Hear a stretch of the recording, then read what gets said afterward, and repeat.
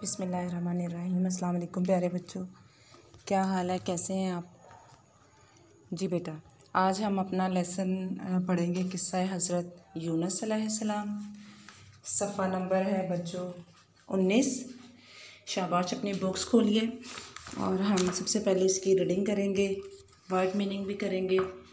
और आपके जो है वो मुश्किल अल्फाज होंगे, उनका तलफ़ भी आप पर वाजे हो जाएगा। जी बेटा तो स्टार्ट करते हैं पढ़ना। दरियाए फ़रात के किनारे एक बस्ती या बात थी, जिसका नाम नैनवा था। दरियाए फ़रात के किनारे एक बस्ती थी, जिसका नाम नैनवा था। अल्लाह ताला ने बस्ती के लोगों तक अपना पैगाम पहुँचाने के लिए एक नबी भेजा। जिस तरह बच्चों, तमाम जो एक लाख चौबीस हज़ार पैगंबर इस दुनिया में तशरीफ़ लाए बच्चों तो उन सब नबियों को मुख्तलिफ़ आबादियों, मुख्तलिफ़ कौमों, मुख्तलिफ़ उमतों की तरफ़ उन्हें भेजा गया ताकि वो अल्लाह ताला के अहकाम की तबलीग कर सकें, अल्लाह ताला के अहकाम जो हैं बच्चों लोगों तक पहुँचा सकें। तो इसी तरह अल्लाह ताला ने दरियाए फ़िरात के किनारे एक बस्ती थी जिसका नाम नैनवा था। अल्लाह ताला ने बस्ती के लोगों तक अपना पैगाम पहुँचाने के लिए बस्ती के लोगों तक अपना पैगाम पहुँचाने के लिए हज़रत यूनस अलैहिस्सलाम को उस बस्ती की तरफ़ रवाना भेजा ताकि वो अल्लाह के अहकाम को उस बस्ती के लोगों तक पहुँचाए। अल्लाह ताला ने अपने पैगाम, अल्लाह ताला ने वहाँ पर अपना पैगाम पहुँचाने के लिए हज़रत यूनस अलैहिस्सलाम को भेजा। अल्लाह के नबी बहुत अरसे तक, यानी बहुत सालों तक तबलीग करते रहे अल्लाह ताला के अहकाम की तबलीग करते रहे, यानी उनको बताते रहे, अल्लाह का पैगाम उन तक पहुंचाते रहे। और अल्लाह के अहकाम जो थे, जो हुक्म, अहकाम जो होता है हुक्म, अल्लाह ताला के जो ऑर्डर थे, लोगों तक पहुंचाते रहे। लेकिन आपकी बातें मानना तो दूर की बात लोग उल्टा उनका मज़ाक उड़ाते थे। यानी जब हज़रत यूनस सलाम बच्चों नैनवा की बस्ती में गए वहाँ पर आपने अल्लाह का पैगाम लोगों तक पहुँचाया तो बेटा उन लोगों ने अल्लाह ताला की बातों को मानने की बजाय उन पर अमल करने की बजाय उल्टा वो उनका मज़ाक उड़ाने लगे उन, उन उनकी बातों पर हंसने लगे और कह कहे लगाने लगे। इससे हज़रत यूनस सलाम इस कदर परेशान हुए, यानी दुखी हो गए, दिल बर्दाश्त हो गए कि बस्ती छोड़कर दरिया के किनारे चले गए। वो दरिया के किनारे बच्चे चले गए। दरिया के किनारे एक कश्ती मुसाफरों से भरी हुई तैयार खड़ी थी। दरिया के किनारे एक कश्ती मुसाफरों से भरी हुई तैयार खड़ी थी। यानी उस दौर में बच्चों, गाड़ियाँ, रिक्शे वगैरह जो है वो नहीं होते थे। लोग कश्तियों में सफ़र करते थे। आप भी उसमें सवार हो गए। हज़रत यूनसम जो थे बच्चों, उस कश्ती में सवार हो गए। जब कश्ती दरिया के बीच में पहुँची तो तेज़ लहरों में फंस गई। यानी जब कश्ती दरिया के दरमियान में पहुँची, उसके सेंटर में पहुँची, बीच में, दरमियान में पहुँची। जब कश्ती दरिया दरिया के दरमियान में चले गई तो तेज़ लहरों में फंस गई। जो पानी का पानी का बहाव होता है, पानी का बच्चों भंवर होता है, पानी की जो लहरें एक दूसरे के ऊपर आ रही होती हैं, उसमें फंस गई। उसमें ऐसी उसके उसके घेरे में, पानी के घेरे में ऐसी तेज़ लहरों के घेरे में आई कि महसूस होता था कि डूबने लगी। कश्ती के लोगों को डर था कि कहीं वो डूब ना जाए। यानी वो कश्ती पानी के दरमियान में तेज़ पानी के बहाव में आ गई और ऐसा मालूम हो रहा था बच्चों कि वो अभी डूब जाएगी। उन्होंने आपस में बातचीत और मशवरे शुरू कर दिए। यानी वो आपस में बातें करने लगे और एक दूसरे से सलाह करने लगे, एक दूसरे को कहने लगे। ज़्यादातर लोगों का ख्याल था कि कश्ती में कोई भागा हुआ ग़ुलाम सवार है। इस जमा, उस ज़माने में लोग इंसानों को ख़रीदते और उन ग़ुलामों से खिदमत लेते थे। यानी कि वो किसी बंदे को ख़रीद लेते, फिर उससे अपने घर के काम वगैरह या बाहर के काम उससे करवाते थे। उसको कश्ती से निकालने से शायद हम बच जाएँ। लोगों का ख्याल था कि इस कश्ती में कोई भागा हुआ गुलाम सवार हुआ है, जो अपने मालिक के हुक्म के बगैर बच्चों इस कश्ती में आ गया है। इसलिए ये कश्ती डूब रही है। हज़रत यूनस सलाम ने यह सुना तो सोचा, मैं ही तो वो भागा हुआ ग़ुलाम हूँ, जिसने अपने मालिक यानी अल्लाह के हुक्म के बगैर बस्ती छोड़ दी। यानी आपको फ़ौर एहसास हो गया अल्लाह के नबी थे, आपको एहसास हो गया कि अगर बस्ती वालों ने मेरी बात नहीं मानी या मेरा मज़ाक उड़ाया था तो मुझे अल्लाह के हुक्म का इंतज़ार करना चाहिए था। लेकिन आप वहाँ से दुखी होकर, दिल बर्दाश्त होकर वहाँ से निकल आए। आप, आगे देखिए, आप सफ़ा नंबर बच्चों उन्नीस है। आप सलाम ने कश्ती वालों को ये बात बताई और कहा कि तुम लोग मुझे कश्ती से निकाल दो।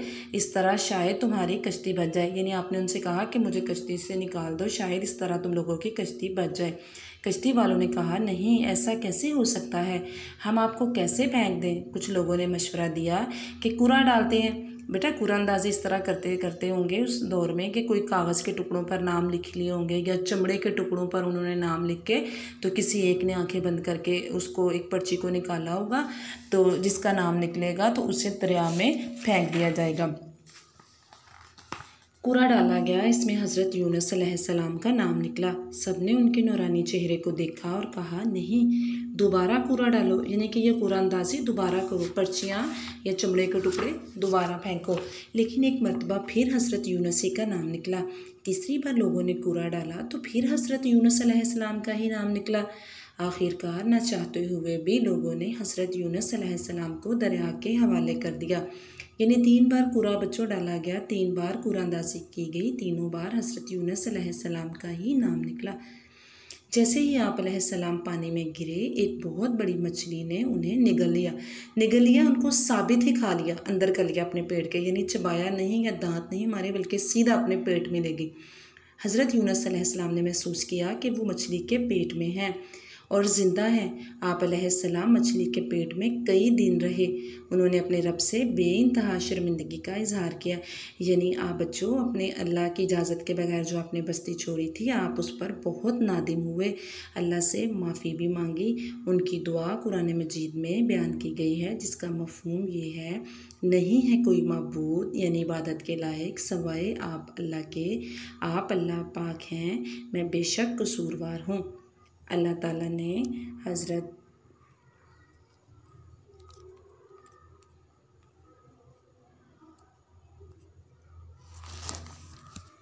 अल्लाह ताला ने बच्चों, हज़रत यूनुस को कहा, अल्लाह ताला ने हज़रत यूनुस की दुआ जो है वो कबूल फरमाई।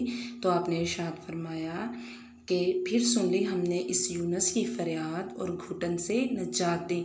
घुटन यानी कि मछली के पेट में बच्चों, ना हवा थी, ना ही रोशनी थी और वहाँ पर एक घुटन अंधेरा था जिसमें हवा और रोशनी बच्चों बिल्कुल नहीं थी।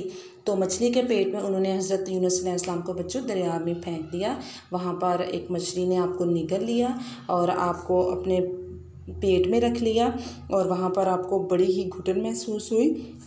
आपने अल्लाह से तोबा की, आपको बहुत आप नादिम हुए, शर्मिंदा हुए, अल्लाह ताला से आपने माफ़ी मांगी और आपकी ये आयत जो है, आयत करीमा कहलाती है कुरान पाक में, ये आयत मौजूद है, जिसमें जिसका मफहम जो है वो ये है कि नहीं है कोई मबूद सवाए आप अल्लाह के, आप अल्लाह के पा, आप अल्लाह पाक हैं, मैं बेशक कसूरवार हूँ।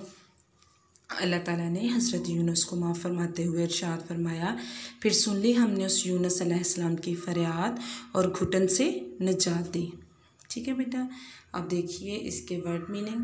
कॉपी पर भी हैं, आपकी बुक पर है, इसको आपने कॉपी पर लिखना। तामील करना, पूरा करना, कबूल करना, तस्लीम करना, तोबा करना, किसी कौल फेल से बाज रहना। तबलीग, नसीहत करना, लग्जिश, गलती करना, मशवरा, सलाह करना। तबलीग, नसीहत करना, लग्जिश, गलती करना, मशवरा, सलाह करना, एक दूसरे से बातचीत करना। फिर देखिए, तामील करना, पूरा करना